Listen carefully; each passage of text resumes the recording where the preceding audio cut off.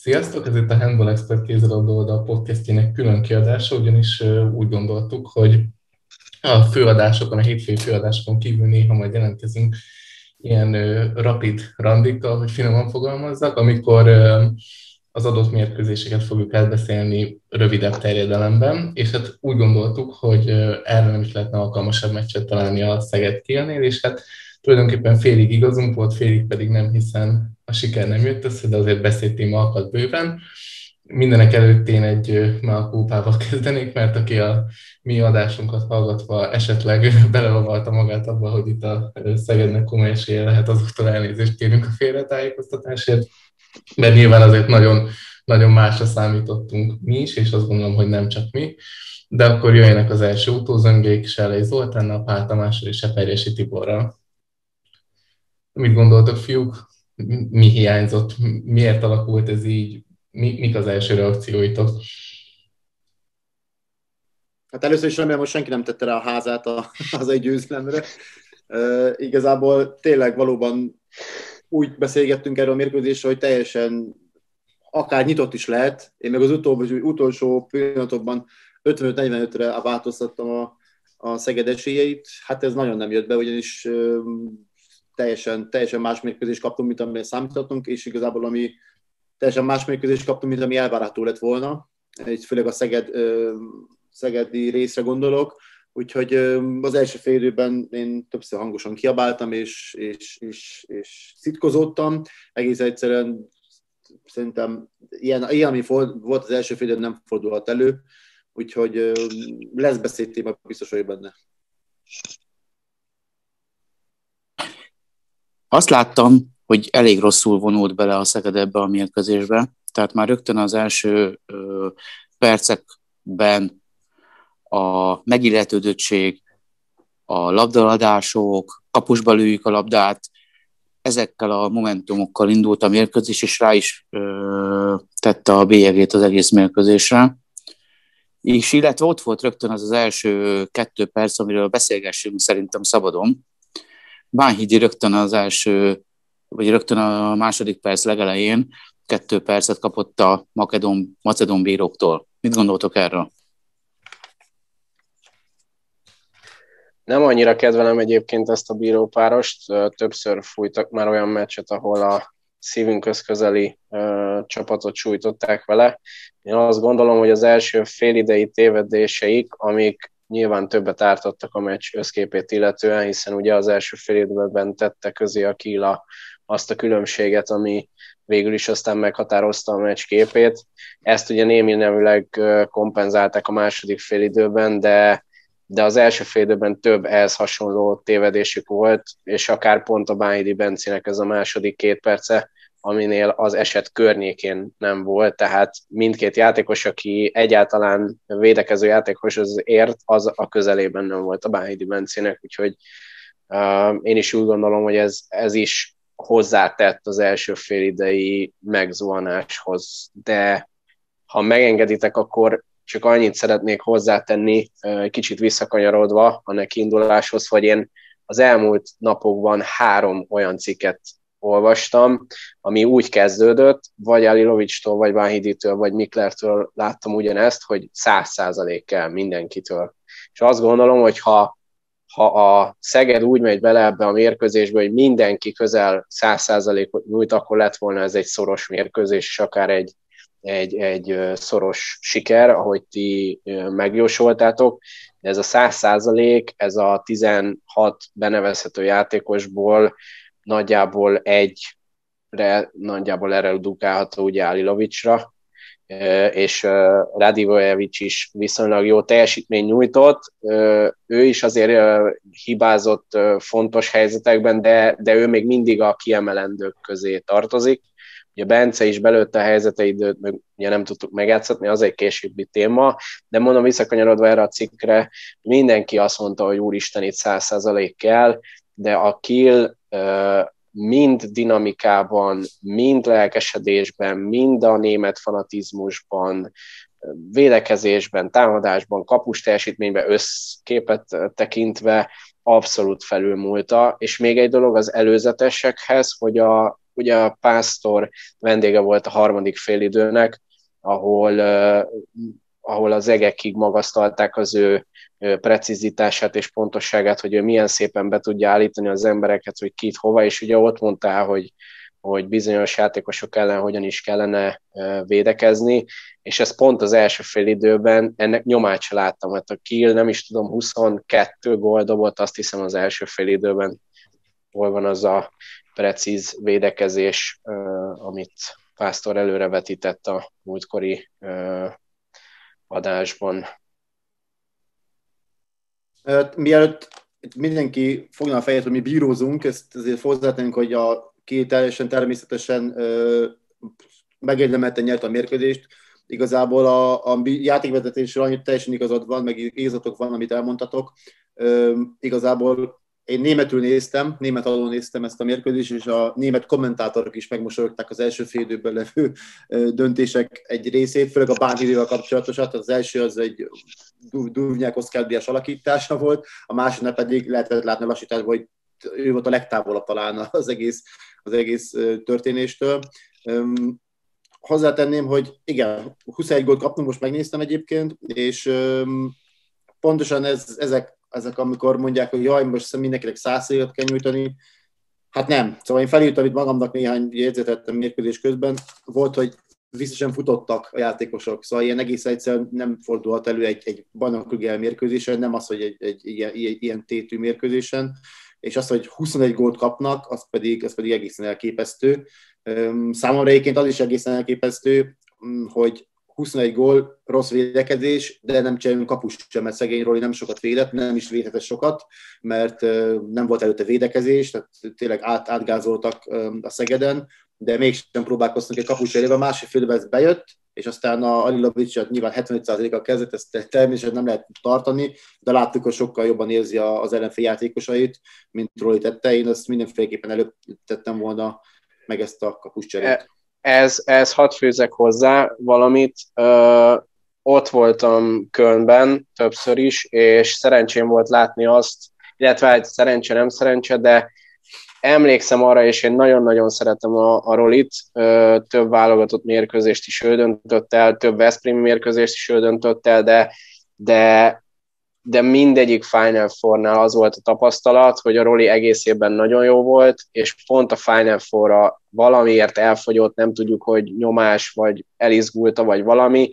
de minden egyes alkalommal az volt a, metódo, a metódus, hogy, hogy a, a, a Rolina nem annyira ment, és bejött az Alilovics, és valami extázis volt az, amit nyújtott, és ezt bárki visszanézhette volna, az összes ilyen Veszprémi mérkőzésen ez volt a Kiel ellen, hogy a Rolinak nem ment, és az Alilovics pedig nagyon érezte, és igen, tehát, hogy ami szerintem megint csak Pásztor számlájára írható, hogy te is mondod, hogy ezeket jóval előbb meg kell lépni, és meg kell kockáztatni, mert ha nem megy az, a, a, a Mirkónak, akkor is vissza lehet hozni megint a rolit, hogy megnézzük, hogy hát ha padról látja, hogy mit kéne másképp csinálni, úgyhogy abszolút egyetértek veled ebben.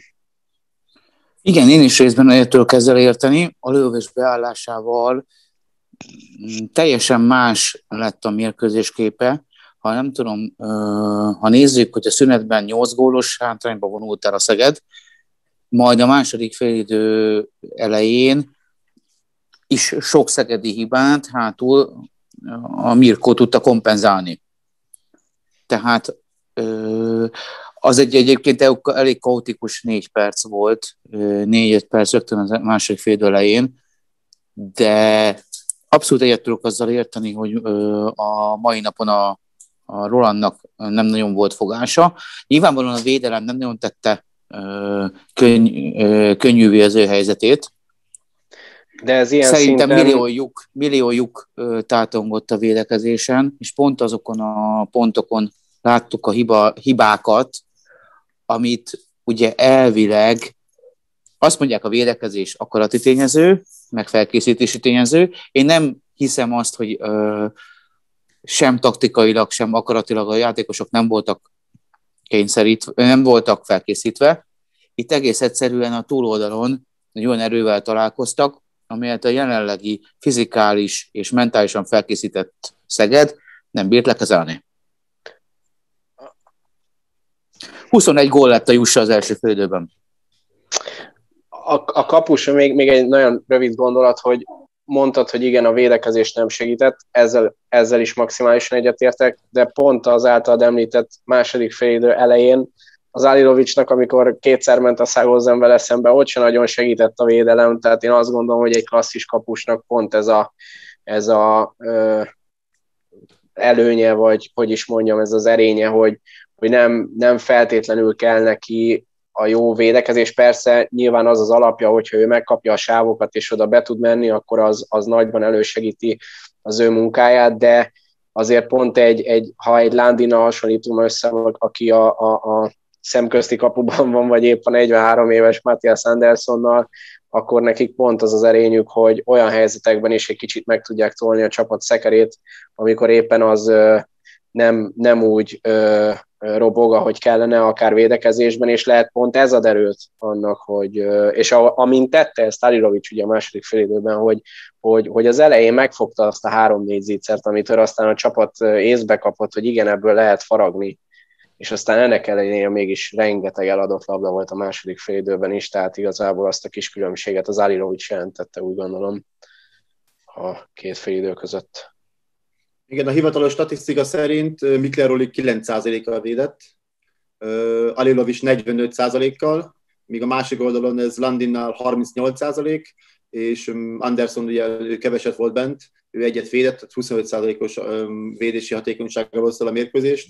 Úgyhogy egyébként a másik fél eleje az tényleg elég vicces volt, ilyen strandkézlabda feeling volt szerintem, hogy oda-vissza rohangáltak hiba-hiba hátán, szóval elég, elég vicces volt, igazából tragikomikus, és ha ott nincs Alilovics, akkor azért akkor nem, szerintem, ahogy mondtátok, nem lett volna egy ilyen másik félidő, amelyet egyébként nyilvánvalóan tud, köszönhet, hogy megnyerte egyébként a Szeged, és, és ez annak is köszönhető, hogy Alilovics így szállt be a mérkőzésbe, és talán még, azt, még később is fogott Szagúzen zicsert, úgyhogy ő abszolút jó csere volt, csak mondom, az én, az én szívemet fájra, hogy miért nem előbb cseréltük, miért nem próbáltuk meg előbb. Ha láttuk, hogy szegény Roli nem, nem sokat találkozik a labdával, akkor azonnal meg kell lépni, és még utána is van lehetőség cserélni, mint ahogy mondtátok.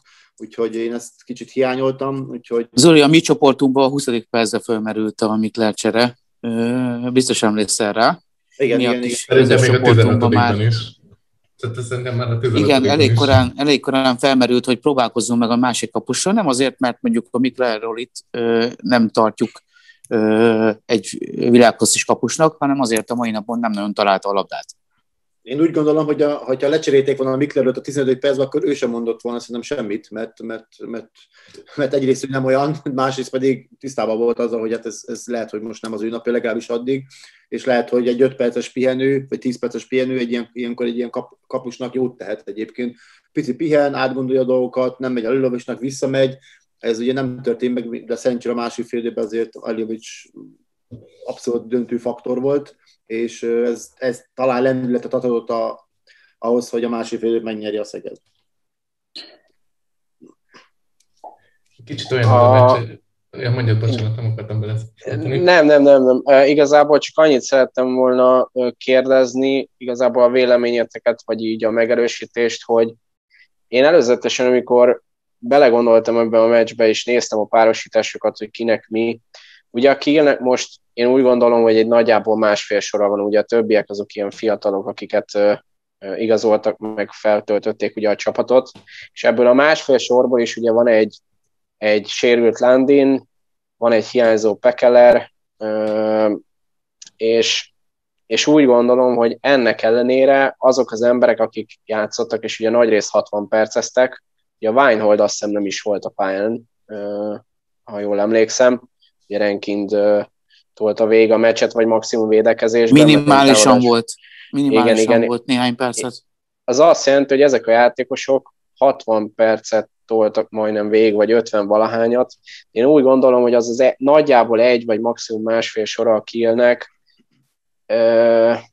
Én, én úgy érzem, hogy, hogy, hogy jelenleg zongorázni lehet a különbséget a két csapatnak a, a, a poszt tonkénti játékos állománya között. Tehát, hogyha megnézem, hogy, hogy Kelman és Stanyowski versus Damke és Landin, akik fiatalok, energikusak, bombaformában vannak, ehhez képest nagyon szeretem Kelment, de ugye tudjuk, hogy azért ő jön ki abból a, abból a csúcsformából vagy karrierből, ami, amit neki szánt ugye már jó évekkel ezelőtt ugye a Ciudad Realban már top formában volt, tehát azért ahhoz képest megint eltett 10x néhány év Stranyowski szintén ugye leszállóákban lévő ember, hogyha Szágózent összenézzük Ricsivel vagy Mácz Kossekkel, Ricsi nagyon jó a távoli bongvákban, jól osztja a, a, a, a labdákat Bencének, de, de nem, nem ugyanaz a kaliber.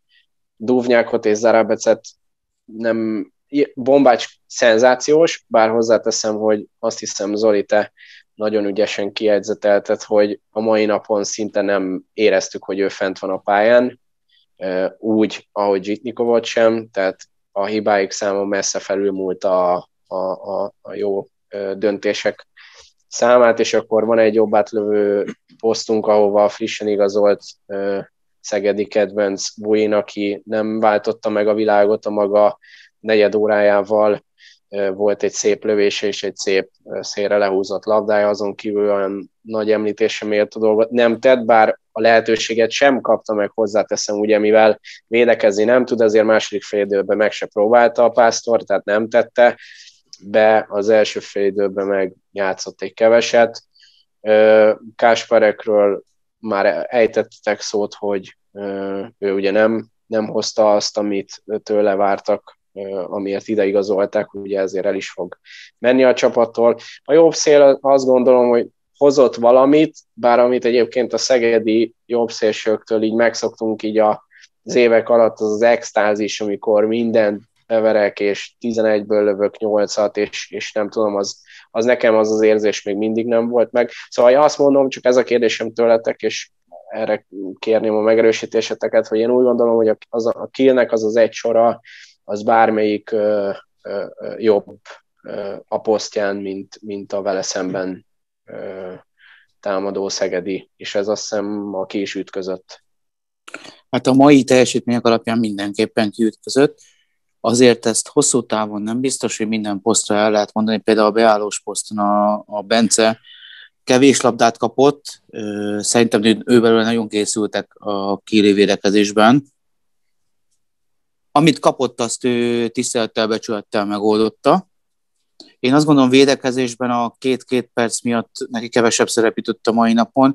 Én azt gondolom, hogy a védekezésben is azért, én például Gaberben azért láttam inkább, inkább őt a jobbak közé soroltam volna a védekezésbe. Ellenben azért például volt ott a másik oldalon, ha jól sejtem, nagyon sok olyan szituáció, amikor a Kiel kifejezetten oda járt gólt lőni. Tehát például egy ilyen dolgok, ilyen dolgok azért szemet szólnak a, szerintem a nem gyakorlat szemnek is. De akkor, akkor azt mondjátok meg nekem, mert ugye én, én is hatalmas stratégának tartom a Pásztor, de, de ezek olyan egyértelmű dolgok voltak. Tehát ő, pont ő mondta, hogy a, ugye a, a Flensburg kilt elemezték, és azt mondta, hogy látjátok, oda járnak a Gottfriedsonhoz gólt lőni, mert tudták jól, hogy ő nem fogja tudni azt a kettes pozíciót. És amit mondasz, az egy az egybe igaz volt erre a mérkőzésre, oda jártak a jobb kettőhöz gólt ahol ráállították mondjuk a vincseket Radivojevicsre, az például egy kifejezetten szembetűnő akció volt, környékén nem volt senki, Szágózenre kiléptek 10 méterre, onnan be a labdát a vincseknek, nyilván Radivojevicsnek esélye nincsen, és valóban oda jártak gólt csak azt kérdezem én, hogy akkor mi volt ez a, ez a nagy matek, tehát hogyha ő, ő felkészült, ő ezeket tudta a videózta, ráadásul ki szerintem nem hozott tehát nem volt az, hogy ők eddig rejtegettek valami szuper extra taktikát, amit most alkalmaztak, és mégsem tűntek a játékosok erre felkészültnek a védekezésbe. Tehát nem, nem tudták, hogy mi következik. Egyszerűen zicsereket lőttek, tehát a, a, a ranking is 7 méterről lőtt az Ávirovicsnak átlőés, nem 11-ről verte be a, a, a, kapufás volt, hanem olyan egyszerűen 7 méterről egy az egybe ment oda valakihez, és, és lövöldözött.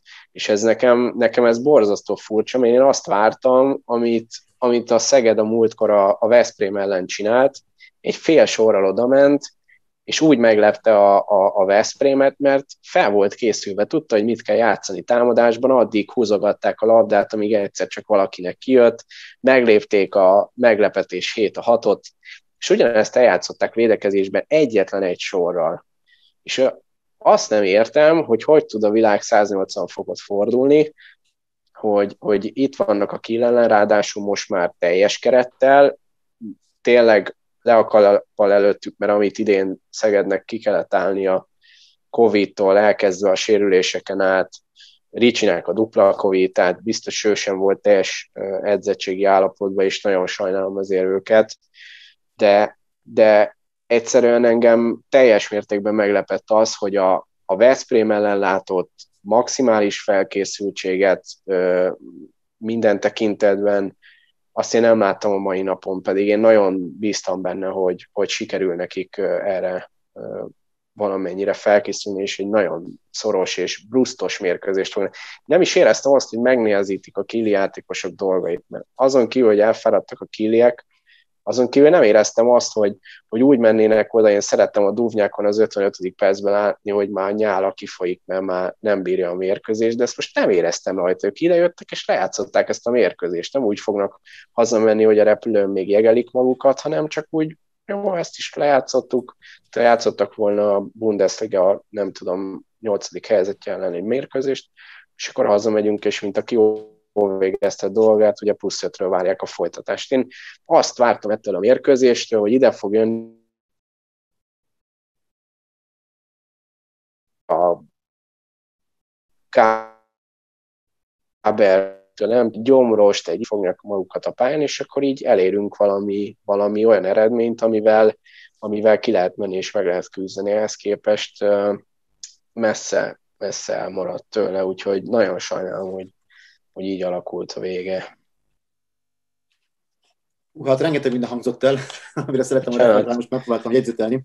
Az nem, te, az utolsó szavagyat teljesen egyetértek. Én többször felírtam magamnak, hogy akarás, egyszerűen nem akarom, nem akarok durva kifejezéseket használni, az első fél egy ilyen szedetvetett társágnak tűnt a Szeged. Olyan, mintha nem, nem, is, nem, nem is értettem egyébként.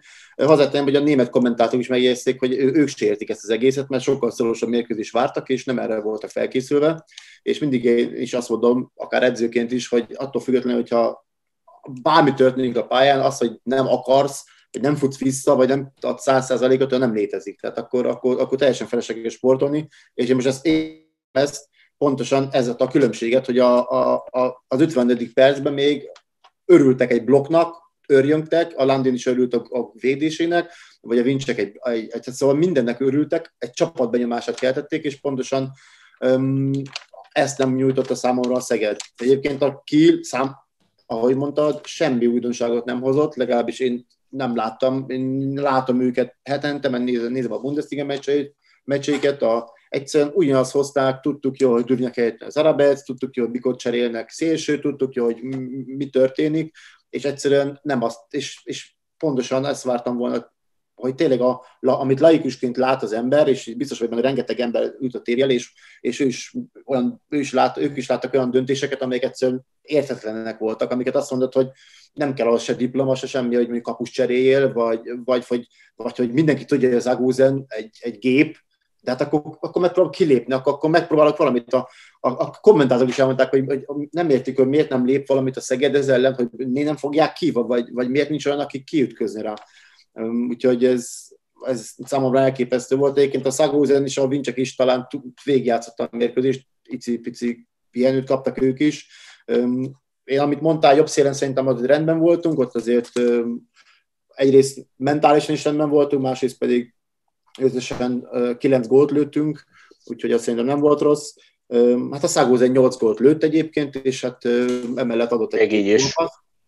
Szágóz adott egyébként 6 gólpaszt, tehát 8 gól és 6 gól. És a második fél évben kihagyott vagy ötöt.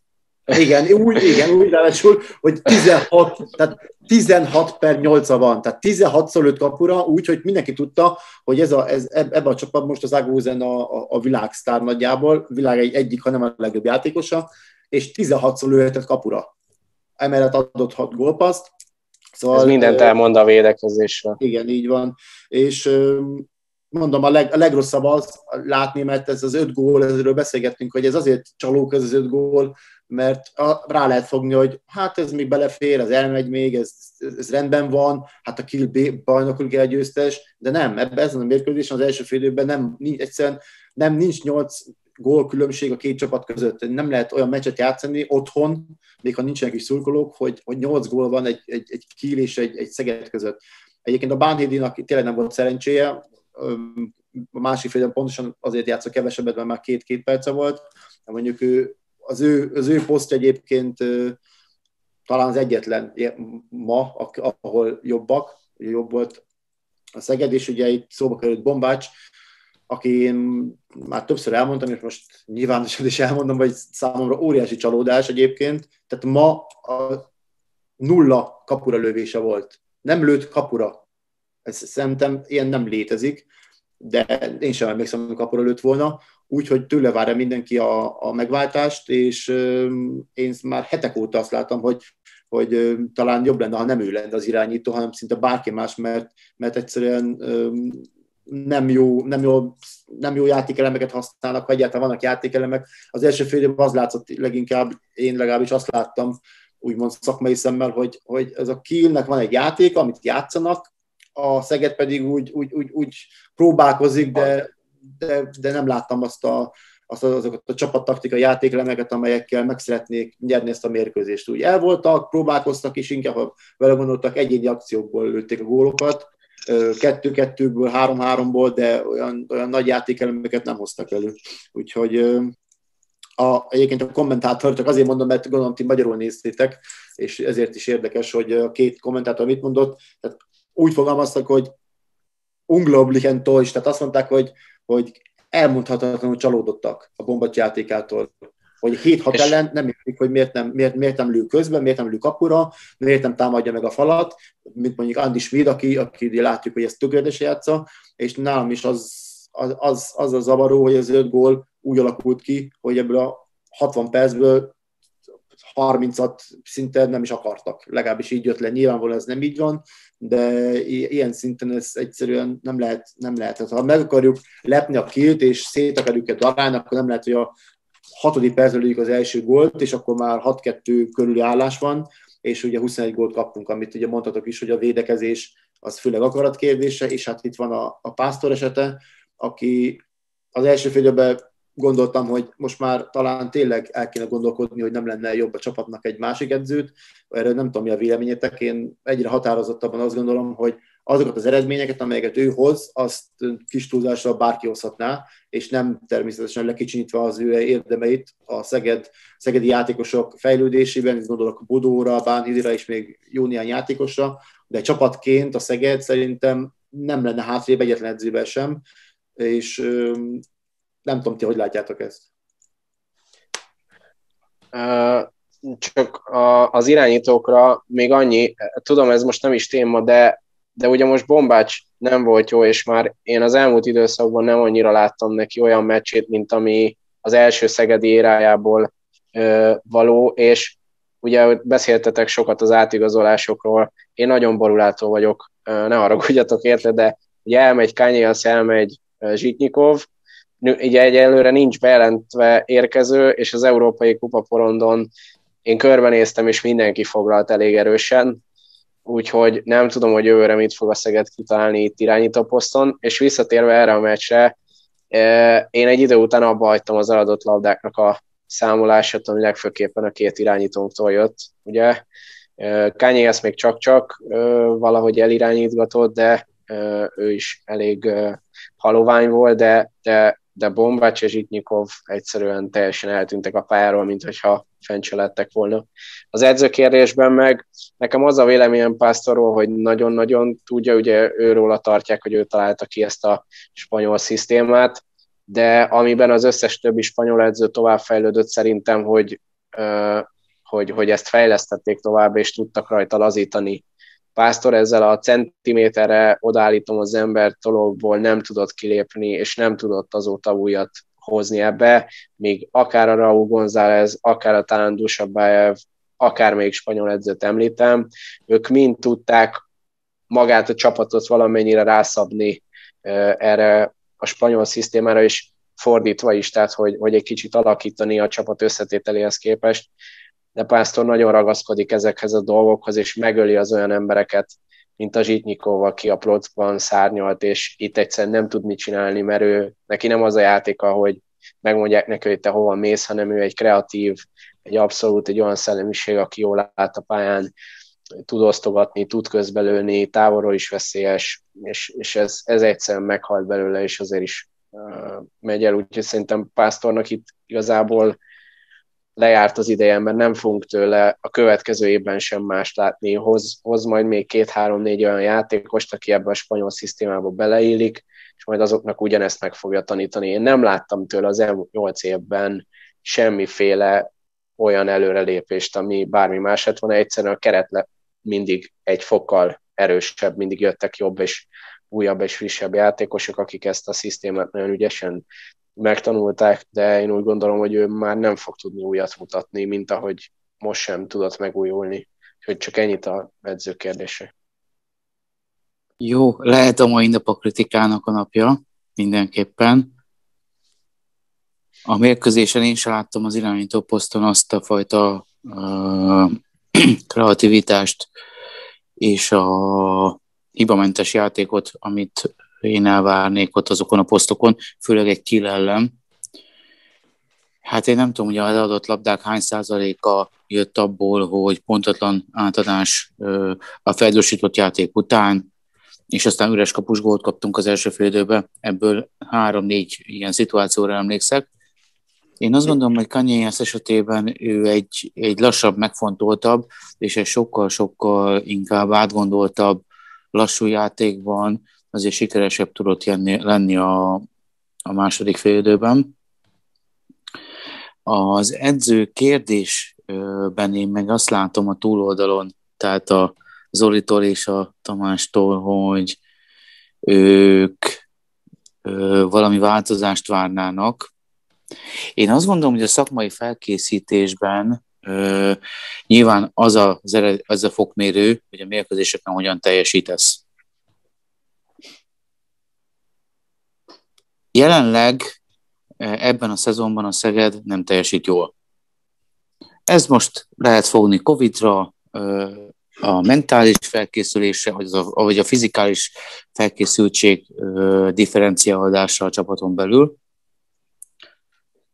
Nekem viszont inkább nem az alapstratégiákkal és azoknak a megjátszásával van gondom, a mérkőzéseken belül reakcióidővel időkérések. Mondjuk ma éppen szerintem idő előtt, időben ki lettek kérve az idők, sajnos ott ki kellett kérni. A kapuscserével van bajunk, mindannyiunknak szerintem azt átbeszéltük. Én azt gondolom, hogy a pásztormesternél nem a stratégiai és a fizikális felkészítésnél keresném az eredendő problémát, hanem ugye nyilván a játékosok mentális állapota, az lehet, hogy egy másik fajta személyiséget kíván. Tudjuk azt, hogy ö, bizonyos játékosokat motivál, egyfajta szigor, ami a elrontott helyzetek után a padon fogadja. Másik játékost ö, éppen negatívan fogja érinteni. Tehát igazából azt látom, hogy jelenleg a szegedi keretet már nem motiválja pozitívan a jelenlegi edző. Nyilván nagyon nehéz lesz ilyen felkészültségű mestert, vagy akár ilyen felkészültségű, ehhez hasonló felkészültségű irányítókat találni. Én jobban aggódom a Szegednek, nem az ezért a szezonjáért, ugyanis én ezt már valószínűleg októberben elengedtem. Az első Covid válság alatt uh, itt már azért látszottak jelek, hogy ebből a szezonból olyan húda nagyon-nagyon nagy uh, pozitív eredményekkel nem lehet kijönni. Én igazából a középtávú vagy a rövidtávú jövőért aggódom. Igazából a következő kilimecsért és a következő szezonért. Egyébként tulajdonképpen nekem meg sem kell szólnom, mert én gyakorlatilag teljesen egyetértek Tibivel. Tehát én is azt látom, hogy ha itt van a váltásra, az mindenképpen abban keresendő, hogy a játékos-edző kapcsolat az megfáradni látszik mindkét oldalról. Tehát a játékosok oldalról is azt látom, hogy kicsit fáradnak bele ebbe a szisztémába, amiről is sokat beszéltünk, és Pastornál sem látom én most jelenleg azt a fajta hát nem tudom, minek nevezzük ezt, tüzet, elánt, bármit, tehát az időkérésésnek néha kicsit ilyen enerváltnak tűnnek. Ugye elmondja, hogy mit kellene játszani, de hogy azt a fajta belehergelést úgy, úgymond nem érzem. Bár lehet, hogy ez habitusbeli dolog is nála, de azért az előző években meg nagyon-nagyon más láttunk. Zoli közben látom, hogy ezt hozzátennél valamit. Igen, nekem um, Ele Gáborral való párhuzam jutott eszembe egyébként, hogy ő is már nagyon régóta a Ferencvárosnál, viszont ott, ha megfigyeled a játékosok és az edző közti testbeszédet, illetve a kommunikációt, az teljesen más, mint Pásztornál. Ez nyilván, nyilván adódhat a, a, a nyelvi különbségekből is, ugye, de, de ott látszik, hogy azért teljesen más, annak ellenére is, hogy az Elek Gábor azért néha szigorú, fogalmazunk így, de, de azért van mosoly a kispadon. Tehát azért viszont ezt nem látom a pászon, már jó ideje, hogy játékosok olyan felőtlenül boldogok lennének a kispadon. Persze nem az a feladatuk egyébként, ezt tudjuk, de, de mégis kicsit nekem úgy tűnik, hogy, hogy, hogy, hogy valóban inkább kifelé jár már ez inkább, és egy új, új friss szellő sokat segítene a csapaton.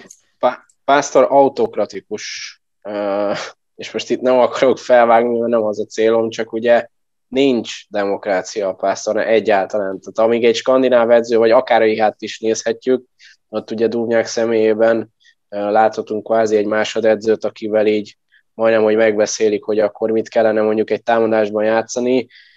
Itt, itt bocsánat, hogy ilyen vulgáris leszek, de itt kussa nevet, tehát itt a pásztor, amit mond, az úgy van, és egy kérdés hozzátok, hogy szerintetek egészséges-e, hogy ugyanaz a szakmai igazgató mint az edző, mert ez szerintem a világon semmelyik másik komolyabb csapatnál nem így van.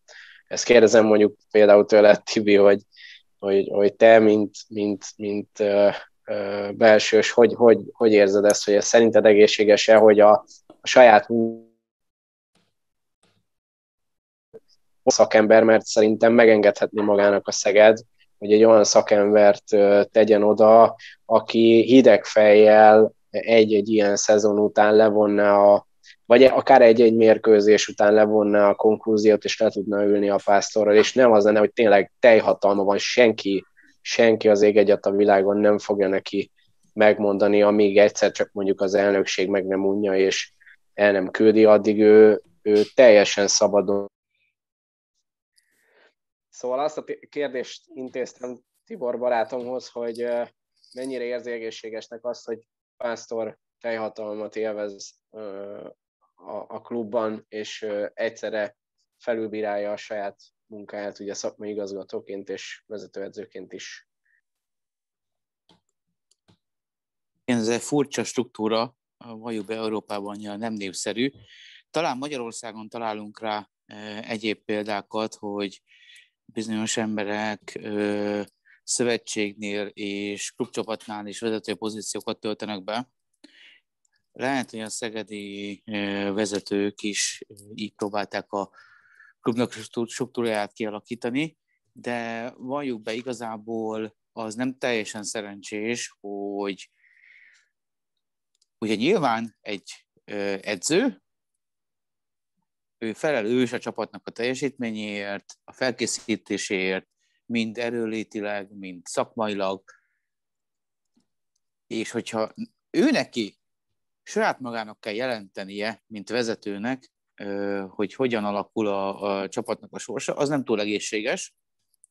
Nyilván itt még egyébként a, a klubnál a Szűcsernő Péter, nyilván tulajdonosok azért nyújthatnak be ilyen számonkérési lehetőségeket, de én azt gondolom, hogy ez nem feltétlenül az egészséges irányba hat.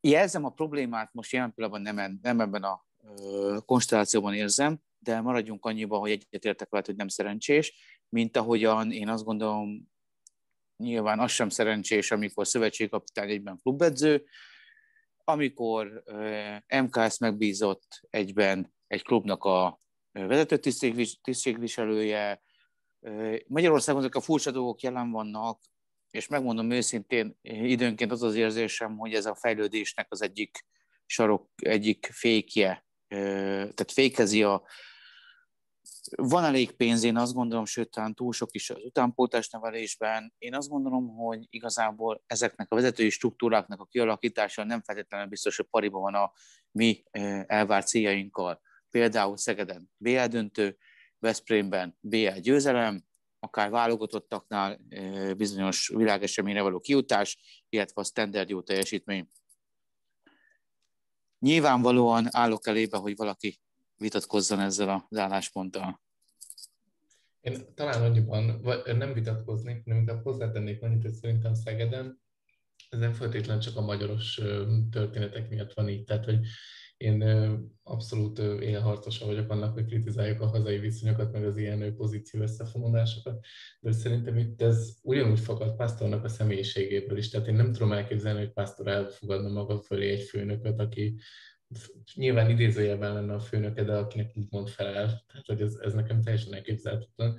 Mi azért furcsa egy picit, mert hogy ő szerintem pár évvel ezelőtt, hogy amikor volt az a szezon, aminek a végén utána a bajnoki cím lett, akkor ugye ősszel ott, hát mondjuk ők megpróbálták megtucsolni a játékosok, na, legalábbis egy csoportja.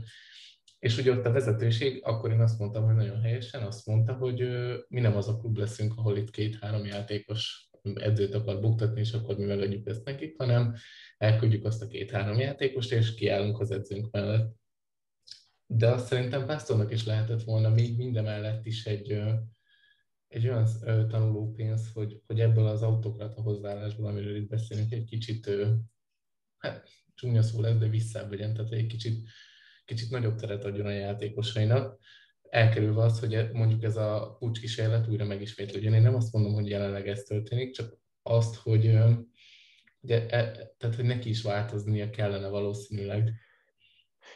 A, a világ szerintem afelé tende, ha megnézitek például a norvég válogatottat, 6 meg 8 fős távok vannak egy csapatnál, tehát hogy, hogy több ember, mert már egyszerűen annyira felgyorsult, és annyi minden aspektusából elemzik és vizsgálják a játékot, én azt gondolom, hogy, hogy, hogy már csak azért is jó, hogyha van egy, egy ember, aki tényleg így, így kívülről tudja ezeket a dolgokat szakmai szemmel megítélni, és én nem mondom azt, hogy emiatt mondjuk ki kellene rúgni a pásztort, hanem egyszerűen csak le tudnának ülni, és meg tudnák beszélni, és le tudnák vonni a konzekvenciákat egy-egy periódus után, és ez nem történik meg. És, és úgy gondolom, hogy ez, ez, ez hiányzik. Tehát én, én azt gondolom, hogy ha van egy vezetőedző, az, az nem egyedül szokta általában kitalálni a dolgokat, azért van segédedző, azért vannak a stábtagok, most már beszélgetünk olyanról is, mint a zenefelben, hogy ugye valaki fölülről veszi, nézi, és közben a fülesére beszél az edzőnek, láthattuk most is ugye az egyiptomi világbajnokságon a svéd edzőnek ugye folyton füles volt a fülébe, tehát nem a felé tendálunk, hogy van egy, van egy, egy nagyon jó szakember, aki egyedül mindent kitalál, és ő azt tudja levezényni, mert én megmondom nektek őszintén, hogy Krivo Kapic szerepét sem látom igazából ebben a csapatban azon kívül, hogy fordít, hogy, hogy én nem, nem, lát, most én, én úgy érzem, hogy ne, nem elfelé tendál a világ, és egy kicsit kezd elmenni mellette, és, és az, az, hogy ő tényleg, hogy ebben nincsen senki más, aki, mert én a tulajdonosokat értem, és ez, ezzel egyet is értek, nyilván ők is látják, hogy nem jönnek az eredmények, akkor azt mondják, hogy hé, miért nem, de ők nem tudják szakmai szemmel megítélni, hogy, hogy ebben mi lehetett a, a probléma. De de abszolút egyetértek vele Tibi egyébként. Ha a tulajdonosi szemlélet ö, játszik, akkor nekik, ö, ugye, nekik lehetőségük van a megfelelő struktúra kialakítására. Tehát amíg ez a struktúra fennáll, és a tulajdonos, illetve a, ö, annak a megbízottja ö, nem lát ebben aggályt, ebben a fajta felállásban. És most itt nem azt gondolom, hogy a pásztor nem felkészített edző, és nem azt mondom, hogy az esetek többségében rossz döntést hoz, mert azt gondolom, hogy ma is azért tetten érhető egy-két olyan döntés, ami jó volt, egy-két, ami nem. De amikor a számon kérése nehezen megvalósítható, akkor ott igazán strukturális kérdések vannak, és lehet, hogy a Szegednél ez jelentene egyfajta előrelépést, ha a következő egy újfajta struktúrával lépnének bele. Ez nem feltétlenül természetesen edzőcserét fog jelenteni, hanem egy más ö, alul, alá, fele, elé, alá és felé rendeltségi viszonyt. Szerintem azt fontos még kiemelni, hogy, ö, bocsánat, hogy a sportigazgató ugye nem csak arról szól, hogy akkor van még egy ember, és akkor ketten végzik a munkát, hanem ő ugye hosszú távon biztosíthat egyfajta irányvonalat a klubnak. Tehát, hogyha mondjuk Pastor, nem tudom, két év múlva elküldik, ha van sportigazgató, akkor ő tudja azt biztosítani, hogy olyan edzőt fognak választani, aki a Pastor által itt hagyott kerettel mondjuk tud dolgozni, és nem az van, hogy mondjuk egy spanyol játékszisztémára épített kerethez idehoznak egy teljesen más felfogású edzőt, aki majd kicseréli a félkeretet, hozza a saját nyolc emberét, aztán majd két év múlva ő is távozik, akkor megint ott állnak, hogy újra kell építeni a keretet. Martin, én ismerek egy olyan csapatot, ahol ezt a hibát elkövették. Igen. Értem a célzást, értjük szerintem mindannyian. Tusé!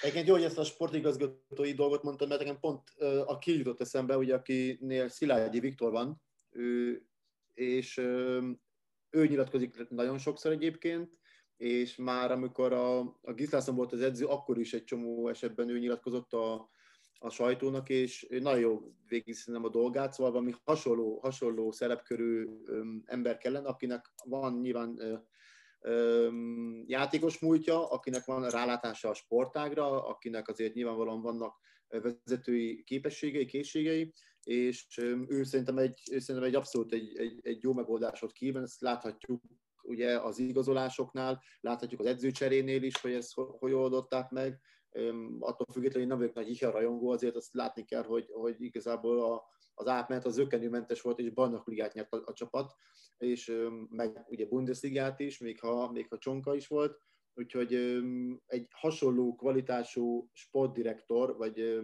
vezető, az szerintem minden csapatnál el kellene, és igazából, mivel Magyarországon azért tudni illik, hogy pénz van mindenre, szóval igazából ez inkább akarat kérdése. A kérdés az ilyenkor, hogy, hogy megvan a megfelelő akaratom ahhoz, hogy, hogy egy, egy a, a már emlegetes struktúraváltás megcsinálja egy, egy csapat, egy, egy egyesület, mert ugye nyilvánvalóan ez kihatta az utánpótlásra mindenre, egy, egy ilyen ember kell mindig megtalálni, aki, aki, aki akár edzőkérdésekben is úgy tud dönteni, játékos politikában is úgy tud dönteni, hogy ez az egész egészet előre vigye. És um, ilyen, ilyen nem létezik a Szegeden, de például Kilnél tökéletesen látszik ez a szerepmegosztás, és biztos vagyok benne, hogy a Jiha és a Szilágyi Viktor, ők, ők, ők kommunikálnak, ők biztos vagyok benne, hogy hetente leülnek, és, és, és megbeszélik a dolgokat, hogy én, hát szerintem ez nem volt jó, szerintem ez így kellett volna, oké, okay, lehet, lehet mégsem, de, de van egyfajta diskurzus, van egyfajta, van egyfajta irány, amiben tudnak finom hangolni, hogy ez most mi a jó csapatnak, és mi nem jó csapatnak, és ez lehet látni, hogy az igazolásokon a legjobban igazából, hogy, hogy posztokra igazolnak, olyan játékosokat, amelyek tökéletesen illnek a gépezetbe, és ez nem minden esetben látom a Szegednél, főleg annak fényében, hogy ugye egyszemélyes irányítás van, amely már valóban eléggé elavult ebben a 21. századi kézlabdázásban, elég ritka, ugye nem is tudom, Trefilla jut eszembe talán, akinek ilyen, nyilván ő egy, egy teljesen szélsőséges, de, de hogy ez az autokratizmus és a, az egyszemélyes irányítás az már tényleg nem, nem megfelelő, vagy nem, nem, nem mindig megfelelő. Egy bizonyos ideig lehet eredményes egyébként, de azért hosszú távon nem mindig, nem mindig hozza meg az eredményét.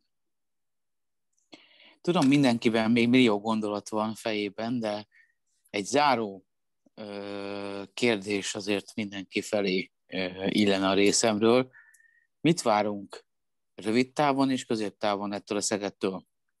Igazából rövid táv, mondom, a Kéli visszavágó kicsit kiterjesztett rövid táva ez a szezon, és mi lesz jövőre?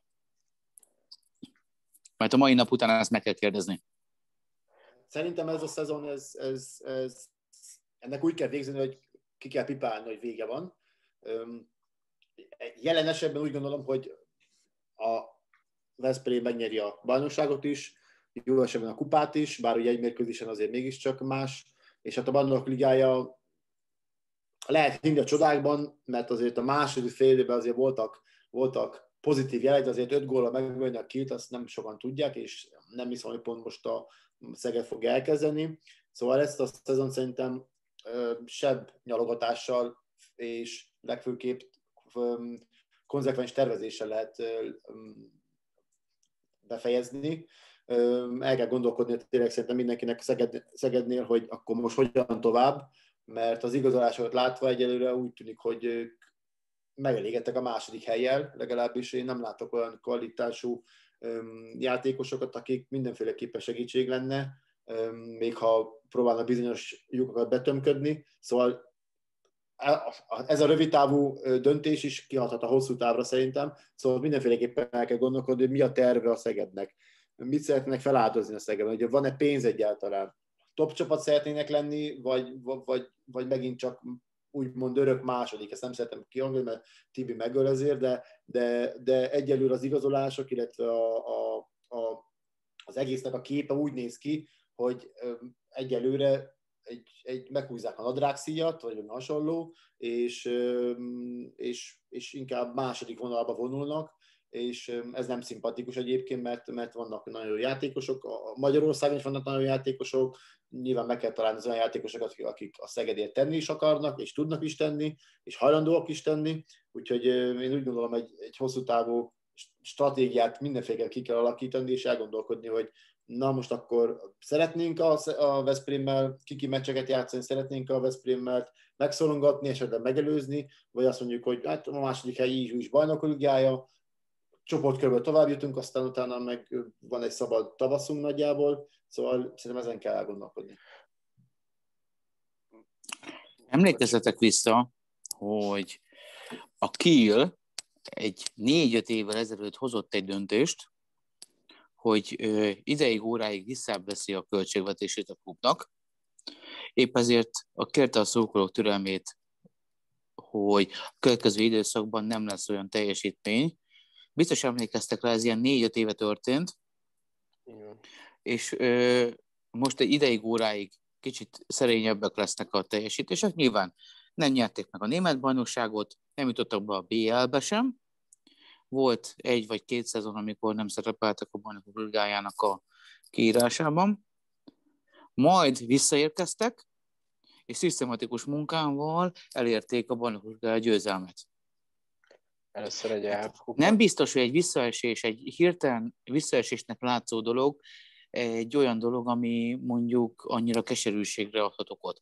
Tehát Kielbe bemutatták, hogy mi történt, és ez jól sült el az ő oldalukról. Azt Kérdés, mondani, hogy... Mondjad. Kérdés, hogy a Szeged esetében várhatunk-e esetleg Phoenix modell feltámadást, vagy esetleg egy hosszabb távú ö, kilódást látunk?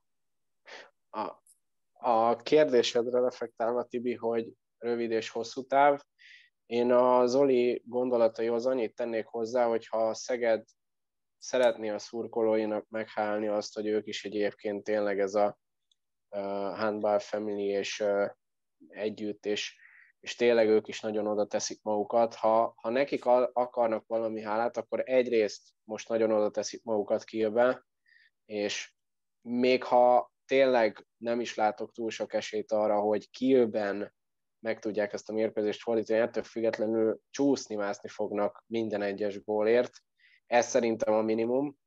A következő, hogy igen, valószínűleg jelen formában ugye a Veszprémnek egy picit több esélye van, bár azért ők sem, ők sincsenek csúcsvonalamban. Én ettől függetlenül megint csak a szurkolókért azt mondom, hogy a Veszprém ellen igenis meg kell izzadni, és meg kell mutatni akár a kupában, akár abban a két bajnoki mérkőzésen, hogy tud a Szeged, mint ahogy megmutatták most is, hogy egy fél csapattal tudnak meglepetést okozni ez szerintem az idei évre. Tehát én azt gondolom, hogy azt a kipipálást, ha ezt tényleg megteszik, hogy ők most ezek után hátradőlnek, és azt mondják, hogy bocs, Covid volt, ennyit tudtam, az a szurkolók szembeköpése lenne, én azt gondolom, egy, ezt, ezt érzem így belülről, hogyha én így tényleg így, így fanatikus Szeged szurkolnék, akkor, akkor ez nagyon fájna. Ha a jövőt nézzük, akkor épül egy 8000-es aréna, és ezt nagyon nagy felkiáltójával tenném ide, mert ugye jelenleg 5000 fős ugye a, a, a Veszprémben, ez egy 8000 fős, ez egy hatalmas aréna, amit gondolom a szegedi szurkolók azért szeretnének megtenni, mert valami olyanért szeretnének kimenni, amiért megéri, és teljesen igazat adok Tibinek, ha most azt mondja a Szeged, hogy oké, okay, szurkolók, most elindultunk egy úton, ami eddig tartott, nem jött össze az a kívánt eredmény, most megpróbáljuk előről, és ideigazolunk fiatal tehetségeket, akikből megpróbálunk következő években egy-két rutinos emberrel kiegészítve egy top csapatot ö, létrehozni, akkor én azt mondom, hogy ezt mindenki nagyon szívesen fogadná, és biztos vagyok benne, hogy ettől a Szeged ott lenne az első kettőben mindenképpen a magyar bajnokságban, és a BL-ben is tudna ö, eredményt produkálni, de ha nem ez a helyzet, és én egyelőre ezt nem érzem, mert itt még senki nem tette fel a kezét ebben a dologban, és azért már áprilisban járunk.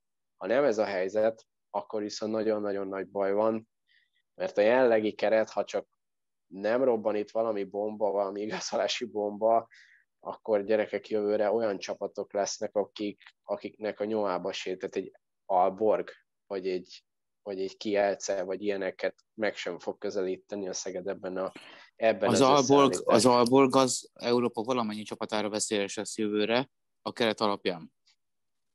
Már most yeah.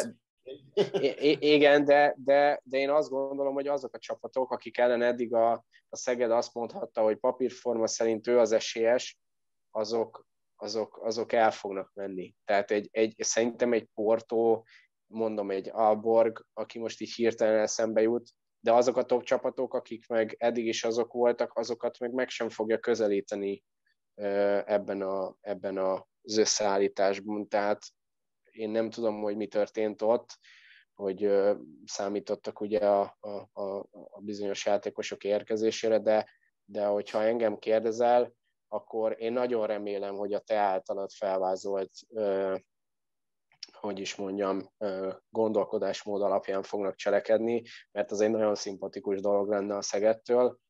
Ha viszont nem, akkor, akkor nem tudom, mert akkor szerintem mm, nagy felhők gyülekeznek majd oda a Tisza partjára. Igen, egyébként jó, hogy Tomi említette a csarnokot, mert ez szerintem ez kicsit válasz azokra a kérdésekre, amiket Zoli is, meg Tibi is feltett. Tehát egy épülő ultramodern 8000-es csarnok egyszerűen nem teheti meg klub, hogy az elvárásaiból visszavesz, tehát ez szerintem egyszerűen kommunikálhatatlan, tehát hogy, hogy ak- akkor, akkor a, a csalnok nem kell. Tehát, hogy értitek, hogy mit, mit mondok.